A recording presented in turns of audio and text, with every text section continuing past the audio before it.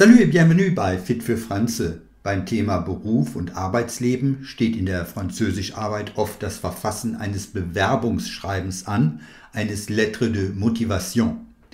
Wie sammelst du in dieser Schreibaufgabe richtig viele Punkte? Was musst du unbedingt beachten? Das zeige ich dir hier für deine bessere Note in Französisch. Allons-y, los geht's! Dieser Kanal heißt Französisch für die Schule. Das bedeutet, ich helfe dir mit einem Lösungsvorschlag zur Schreibaufgabe, genau das zu lernen, was wirklich wichtig ist. Bei einem Bewerbungsbrief, einem Lettre de Motivation oder auch Lettre de Candidature, wie er auf Französisch heißt, musst du nämlich grundsätzlich drei Dinge beachten, die dein Lehrer oder deine Lehrerin von dir erwarten. Erstens, ein französisches Bewerbungsschreiben hat Regeln der formalen Gestaltung. Welche das sind, dazu gleich mehr. Zweitens, du lernst beim Thema Lettre de Motivation im Französischunterricht typische Formulierungen eines Bewerbungsschreibens, die du unbedingt in deiner Schreibaufgabe unterbringen musst. Besonders dafür gibt es nämlich meistens reichlich Punkte. Und drittens, deine Argumentation, warum gerade du der geeignete Bewerber oder die geeignete Bewerberin auf den Posten bist, musst du schlüssig formulieren. Keine Angst, das ist gar nicht so schwer, wie du jetzt vielleicht meinst. Ich zeige dir gleich auch allgemein einsetzbare Sätze, die du immer gut anbringen kannst, um auf die Anforderungen der Stelle und deine Motivation einzugehen. Lies dir zunächst genau die Ausschreibung und die Aufgabenstellung durch. Markiere wichtige Passagen und mache dir vorab Notizen zum Bewerberprofil. Un camping à Antibes recherche jeune allemand ou allemande pour un stage de deux mois en juillet-août 2023 à la réception. Profil anglais et français, être ouvert, aimer le contact avec le public, esprit d'équipe. Wir nehmen hier also an, es geht um eine Anzeige eines Campingplatzes an der Côte d'Azur, der für nächsten Sommer einen deutschen Praktikanten und eine Praktikantin, un oder une stagiaire, für die Rezeption sucht. Die gewünschte Person sollte neben der Muttersprache Deutsch, Französisch und Englisch sprechen und klar natürlich immer freundlich und gut gelaunt die Gäste in Empfang nehmen, offen sein und über Teamgeist verfügen. Beginnen wir mit den Formalien. Wenn du ein echtes Schreiben am PC entwirfst, sollte es auf eine DIN A4-Seite passen. Lisa aus Bonn würde sich über so einen Job im sonnigen Südfrankreich freuen. Lisa schreibt ihren Absender Les Coordonnées oben links hin. Wir gehen davon aus, dass Lisa einen Lebenslauf mit weiteren Daten zu sich selbst ergänzt hat, der könnte oder sollte bereits in der Aufgabenstellung enthalten sein. Die Anschrift des Arbeitgebers, l'adresse du destinataire, die steht im französischen Brief darunter ganz rechts eingerückt, also so wie hier. Direkt darunter Ort Datum, lieu et date, Bonn, le 20 Oktober 2022. Denke dran, beim ersten ist es immer le premier, eine Ordnungszahl, ab dem zweiten ist es immer die Kardinalzahl, le 2, le 3, le 4. Jetzt der Betreff, l'objet de la lettre, Candidature à un poste de stagiaire. Bewerbung auf eine Praktikantenstelle. Gehört immer dazu. À un poste de ersetzt du durch die Bezeichnung der Stelle. Ich kennzeichne die Textpassagen, die typische Formulierungen eines Bewerbungsschreibens enthalten, hier gelb. Auf unserer Webseite www.fitfürfranze.de haben wir für dich ein PDF zum kostenlosen Download hinterlegt, wo du Formulierungen mit Alternativen dazu nachlesen kannst. Das Sprachniveau sollte dem offiziellen Anlass eines Bewerbungsschreibens gerecht werden. Madame, Monsieur, so schreibt man eine offizielle Anrede. Auch möglich ist Mesdames, Messieurs, wenn du den Adressaten nicht namentlich kennst. Bitte schreibe nicht Salut oder so etwas, das gehört nicht in einen offiziellen Brief. Suite à votre annonce sur Internet, je me permets de vous adresser ma candidature au poste de stagiaire. Neben der Anrede hast du hier schon eine wichtige Formulierung kennengelernt, die du unterbringen musst. Der Satz bedeutet so viel wie Bezug nehmend auf Ihre Anzeige im Internet erlaube ich mir, Ihnen meine Bewerbung auf die Praktikantenstelle zu senden. Ja, prima, damit ist der erste Satz schon geschafft. Ein entspannter Start in eine Schreibaufgabe in der Französischarbeit ist immer wirklich enorm wichtig, damit du nicht schon am Anfang nervös wirst. Deshalb ist wirklich mein Tipp, lerne diese Formulierungen und Sätze auswendig. Umso entspannter gehst du dann schon in die Arbeit rein und das ist immer ganz, ganz wichtig. Jetzt folgt die persönliche Vorstellung. Je suis allemande, j'ai 17 ans et je suis lycéenne du Beethoven Gymnasium à Bonn. Je passerai mon baccalauréat l'année prochaine. Ich bin äh, eine Deutsche, ich bin 17 Jahre alt und ich bin Gymnasiastin im Beethoven Gymnasium in Bonn. Ähm, ich werde im kommenden Jahr mein Abi machen. Diese Infos kannst du meistens schon der Aufgabenstellung entnehmen. In diesem Fall wäre also der Lebenslauf von Lisa beigefügt. Je suis lycéenne. Achte auf den Unterschied zwischen männlich und weiblich. Lycéen, lycéenne. Du kannst auch schreiben, je suis élève. Ich bin Schüler oder Schülerin. Élève kann nämlich männlich oder weiblich sein. So, jetzt hast du schon etwas über dich geschrieben. Jetzt will dein Lehrer, deine Lehrerin lesen, warum du die Stelle gut findest. Deine Sätze kannst du logisch verknüpfen mit c'est pourquoi, donc, car, parce que. Du schreibst Après, j'aimerais passer quelques mois en France car j'adore les langues et j'ai un assez bon niveau en anglais et français. Danach möchte ich einige Monate in Frankreich verbringen, denn ich mag Sprachen sehr und ich habe ein ziemlich gutes Niveau in Englisch und Französisch.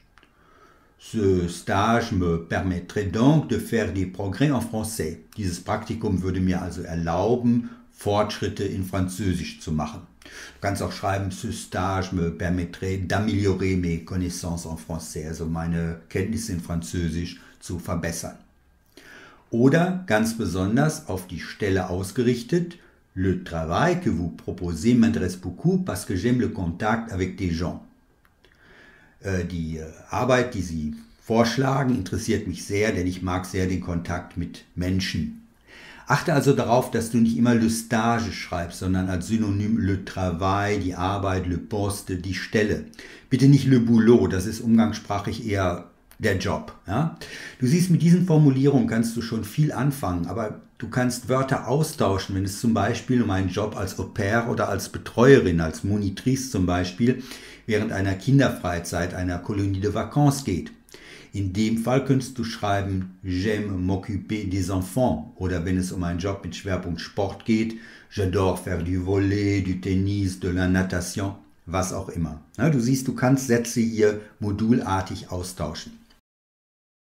Oder du schreibst, auch das funktioniert immer, c'est pourquoi je serai heureuse de travailler pour vous. Deswegen bin ich glücklich, wäre ich glücklich äh, für Sie zu arbeiten. Donner des informations aux touristes en allemand anglais et français ne me poserait pas de problème. Informationen Touristen in Deutsch, Englisch und Französisch zu geben, würde mir keine Probleme bereiten. Jetzt begründest du dies durch deine Erfahrung. Wohlgemerkt, du kannst dir in einer Schreibaufgabe auch was ausdenken. Es geht nicht um deine wirklichen Erfahrungen. Vermeide aber Wiederholungen, wenn du schon an anderer Stelle etwas erwähnt hast.